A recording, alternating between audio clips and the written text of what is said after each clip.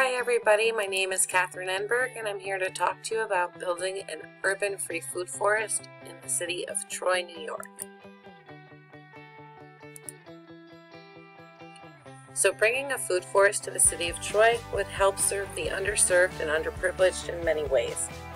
A city with well-planned and well-managed green infrastructure becomes more resilient, sustainable, and equitable in terms of nutrition and food security, poverty alleviation, livelihood improvement, climate change mitigation and adaptation, disaster risk reduction, and ecosystem conservation.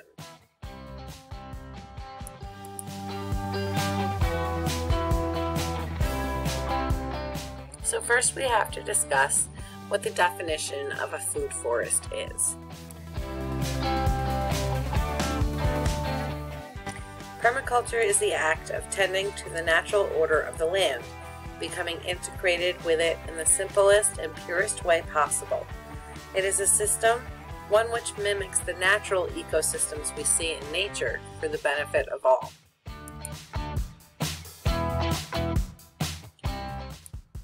The Tree Cities of the World program is an international effort to recognize cities and towns committed to ensuring that their urban forests and trees are properly maintained, sustainably managed, and duly celebrated, and is sponsored by the Arbor Day Foundation.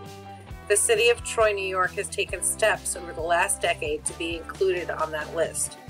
To be recognized as a tree city, a community must meet five core standards that illustrate a commitment to caring for its trees and forests. They need to establish responsibility, set the rules, know what they have, allocate resources, and celebrate their achievements.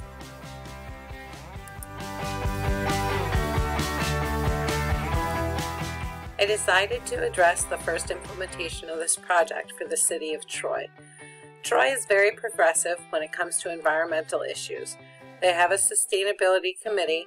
There's a solar farm being built in South Troy, and they have several water treatment facilities.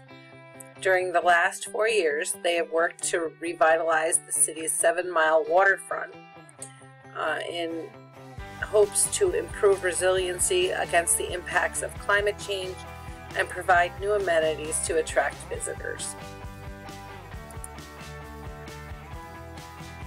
projections were made by the New York State Energy Research and Development Authority for changes in mean annual climate change and extreme events. Model-based distributions for temperature, precipitation, sea level rise, and extreme events were created based on a global climate model simulation. And these areas marked in yellow here were areas that the report um, showed that would be impacted by projected climate change issues and would benefit from climate change mitigation. For cities to achieve their potential, it will be important to reduce the expected pressures resulting from the explosive rural or urban migration by balancing sustainable urban development alongside sustainable rural development. A community forest is a community managed forested area that provides benefits to the local community, such as timber harvest management, training, educational programs for adults and children, and recreational activities. Several specific ecosystem services that could be relevant for evaluating current and future urban green spaces include plant biodiversity, food production, microclimate control, soil infiltration, carbon sequestration, visual quality, recreation, and social capital. Food forests are living proof that industrial agriculture is not the only way to feed the world. In fact, we now recognize that conventional agricultural practices are a major contributor towards climate change, environmental destruction, and desertification. Monocropping devastates ecosystems by forcing the land to grow only one thing over extensive acreage over much of the country.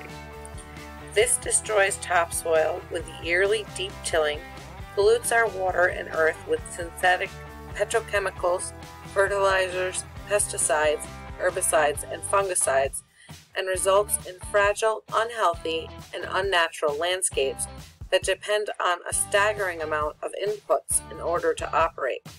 On the other hand of the spectrum lies the food forest. It's an example of a regenerative, resilient, and time tested method of growing food.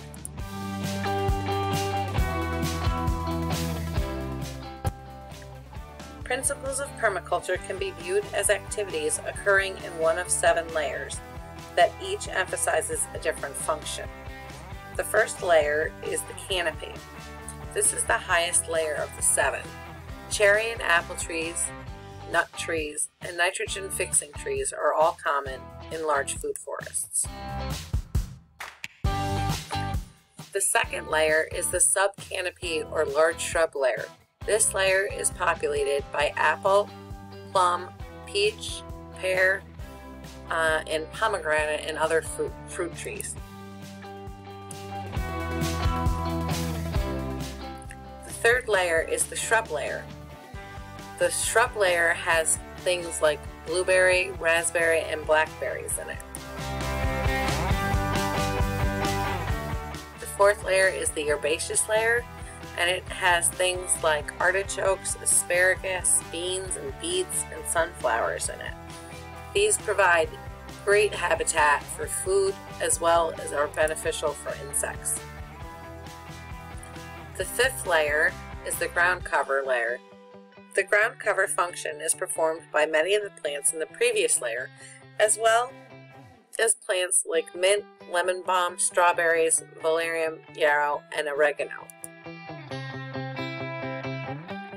The sixth layer is the underground layer with things in it like onions, potatoes, horseradish, burdock, chicory, and valerian. It also contains fungi like mushrooms, which support the health of the ecosystem and are good for people to eat. The seventh layer is the vertical or climber layer. It's home to some of the most far expanding plants, uh, such as hop, grape, and kiwi, and running beans.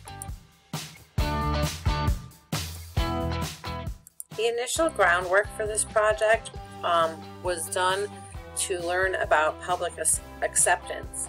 Um, and it was done through interviews that were in situ, so in live situations. In an attempt to encourage the people to focus on climate change issues, a creative approach to data collection was required in order to survey um, the largest section of the local population in one area possible. Out of the box thinking utilizes a cross disciplinary approach through the use of sociological methods for data collection in um, in person conversations. So, we ask questions about the overall spiritual nature of the community, the most common issues of struggle, um, and what environmentally friendly projects that would not take away people's perceived personal liberties um, were discussed. So I discussed these issues with members of the local music scene. Um, there were about 56 people that I interviewed over the course of a two year span during 2011 to 2013. These people were interviewed because they're representative of many segments of the Troy, New York population, and they contain people that have various backgrounds that one may not normally find interacting in a social nature due to their upbringing or current job description. The scene brings together all walks of life uh, in unity through the love of music.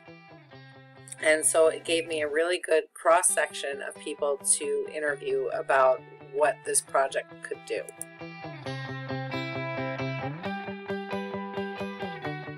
The results of my surveying showed a common theme emerging in areas of food security for Troy, New York.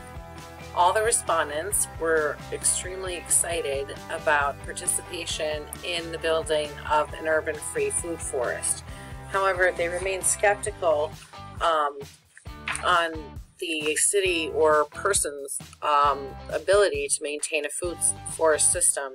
So they were curious as to who was going to actually be able to implement such a project.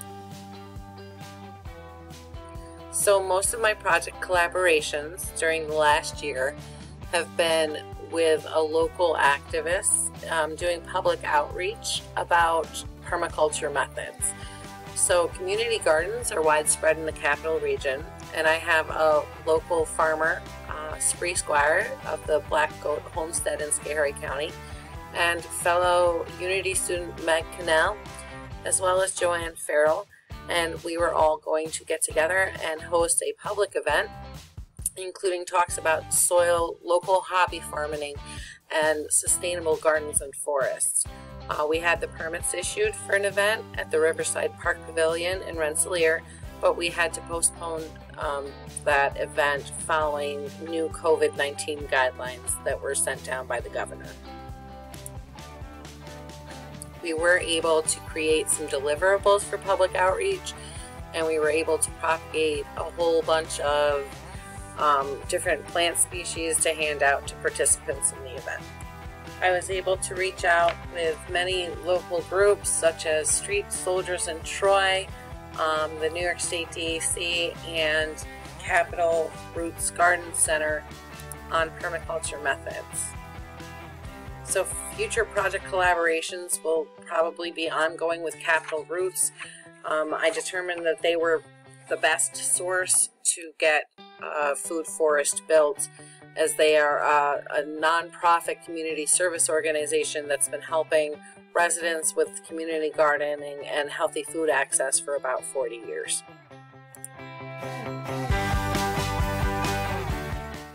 The timeline for the implementation of a food forest is a long reaching project. A five year planting plan, once the project build phase begins, seems reasonable public outreach and education can be continued during the entire building phase. So in conclusion, to ensure the sustainability and security of a viable food, water, and nutrition system for a growing urban population, many key factors influencing the food supply need to be addressed. Utilization of permaculture methods is a solution to address equity issues as well as climate change mitigation solution would be very beneficial for the city of Troy, as well as those surrounding cities in the capital district of Cohoes and Albany. These cities have potential to utilize permaculture ideas in their park planning and development through their community garden organizations.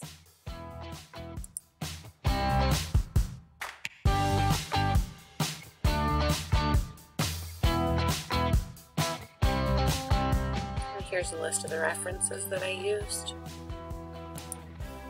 for the project. And if anybody has any further questions about this project, I am happy to answer them.